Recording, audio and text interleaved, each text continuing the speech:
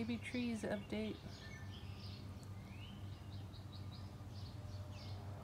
They're growing like crazy. They're so cute.